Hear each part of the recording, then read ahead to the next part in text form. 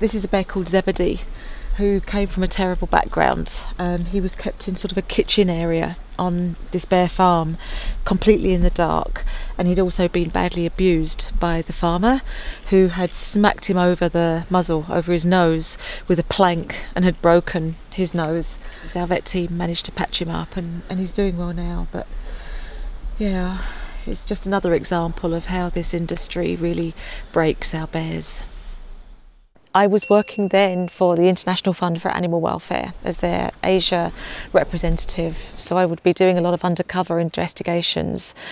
On this particular day, I had a call from a journalist friend of mine who had just come back from seeing one of these notorious bear farms in China. At that time, very little was known about them, but I just felt I had to go along and have a look for myself.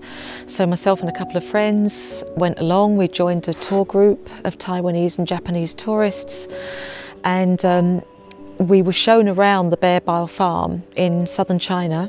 We knew that something terrible was happening to the bears themselves to create that bile.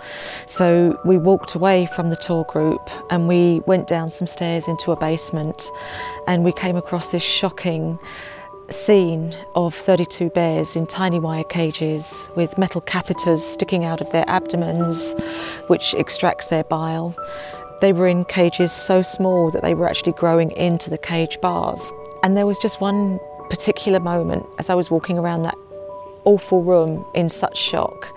Um, when I obviously backed into a cage too closely and um, something brushed my shoulder and I turned around and a, a, female moon bear had her paw through the bars of the cage and I, I don't remember even thinking twice, which I would today. I took her paw and she didn't hurt me and she should have hurt me as a member of the human species, but she just squeezed my fingers. And, um, and I just remember a message going through us, you know, between us. It just changed everything about my life. And I, I left that farm, I think, knowing at that time that I probably wouldn't see her again. And I never did. I just gave my promise that, that I would try to help, if not her, the bears that were being put in that situation. And that was really the reason why several years later Animals Asia was founded to specifically address the terrible industry of bear bile farming and to look at um, the issue of dog and cat consumption and captive animal welfare as well. And here we are today, you know, nearly 20 years later, with I think our promise kept The uh, Vietnam Bear Rescue Center is a project um, between Animal Asia and the Ministry of Agriculture and Rural Development of Vietnam. This is a joint project to help the uh, Vietnamese official uh, to enforce the law uh, because before this, uh, this center was developed, uh, every time an official um, come across an illegal bear farm or someone illegally taking bear from the, from the forest, uh, they don't really know what to do with the bears. Uh, who would look after them? Uh, they don't have the resource, they don't have the expertise. So the main purpose of this center is to, to help the government to enforce the law and uh, for Animal to rescue as many bear we can from bear farm and illegal trading and then trying to get the bear back to their normal health again.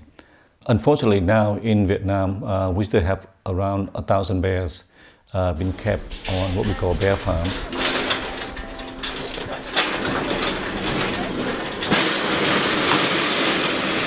So I'm just about to load uh, Humphrey, who is one of our Asiatic black bears. Uh, he's having a health check tomorrow, so I'm going to ask him to enter um, a small cage on wheels and um, he'll go on that across to our health check room, ready for tomorrow.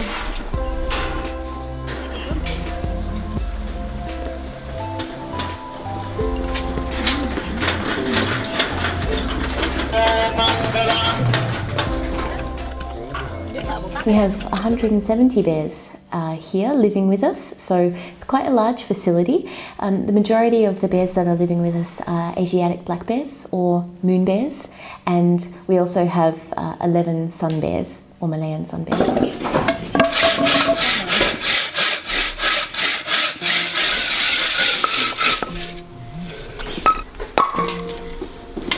There's lots of different types of enrichment. You know, we could give them smears, which they might go around and lick up. We can stimulate different senses as well. So you might give them something that it makes noise. We want to encourage the bears to display natural behaviors. These toys, it encourages them to forage. We can put food up high on the structures and the enclosures to encourage them to climb because naturally these are behaviors that they would do in the wild.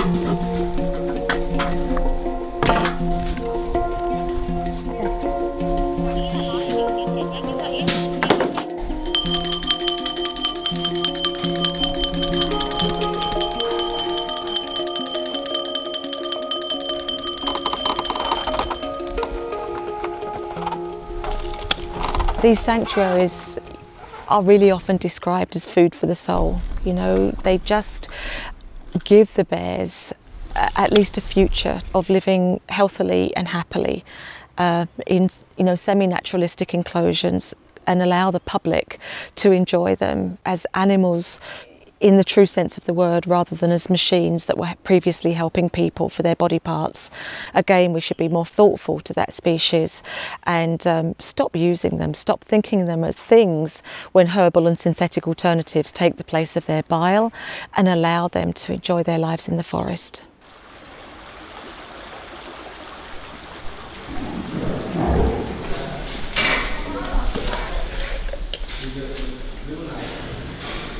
So each morning before the bears go outside, uh, if they need to have medication for any reason, the team give them their medication, usually in something really delicious like banana and honey.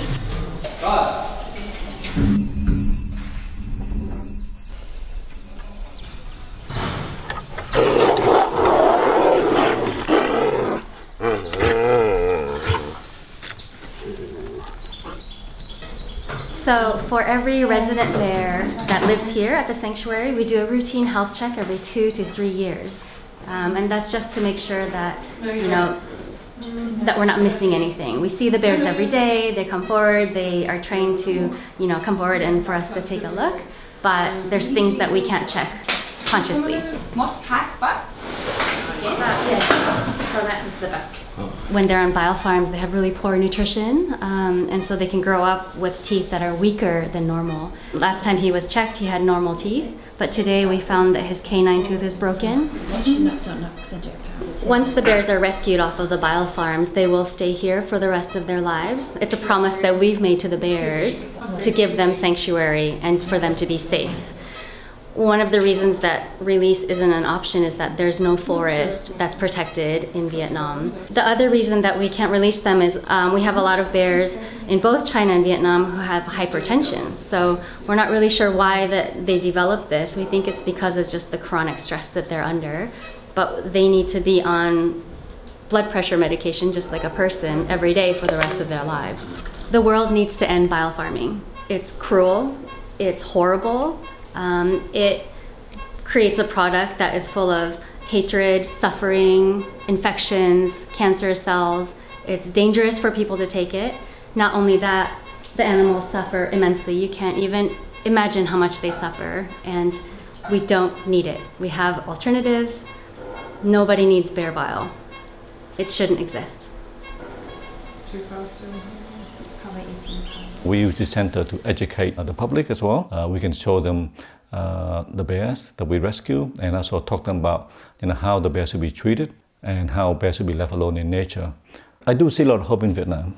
Uh, if we can show these young people, you know, what, what animals is and how they should be treated, um, then hopefully that will convince uh, their parents, uh, their, their elderly in their family of treat animal better. I'm surrounded by a team, you know, there's around 70 of us that live out here and work out here at the sanctuary, and there's 70 of the best people I've ever known in my entire life. The sanctuary here and in China and all of our other programs cost us unimaginable amounts of money every year. Uh, we do need support from the public uh, to raise the opinion uh, because we as Animal Asia, if we, we just one voice, And usually, you know, when we talk to government, they said, oh, well, it's you complaining. We don't hear anyone else complaining. So if we get a lot more people complaining with us, then we can change uh, what's happening in Vietnam please just go onto our website, please go onto our Facebook pages. You know where to find us, Animals Asia. It's easy. Just help us. We you know we are we are doing what we say on the tin. We are delivering the success stories of these animals each and every day. Um, but on a broader level, I love to just talk to people about how they can help the animal community across the world. You know, whether it's here in Asia or in your own backyard at home.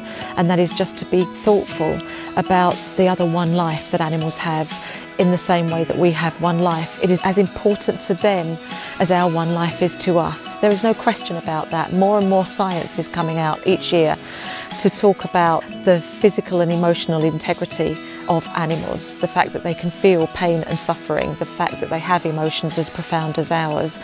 And I think it just, as an intelligent species, we owe it. We owe it to be a compassionate species as well to other animals that we know feel pain. So don't go to circuses that have animals. Be very careful about the zoos that you go to. Just go to zoos that act as rescue centres as well and have true conservation at their heart. Look at the products you're buying. You know, women, if you're buying makeup, you know, go to the shops that we know sell cruelty-free products please just go vegan or even vegetarian for one or two days a week or more if you can.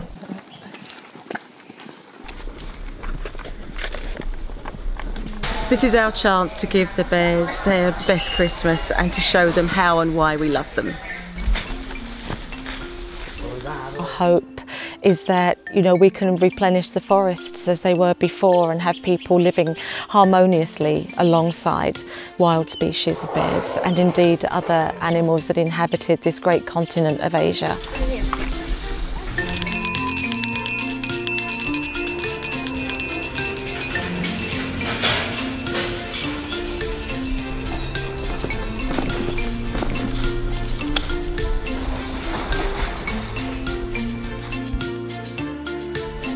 Go on. No, no, no, no. He's gonna get the biscuit.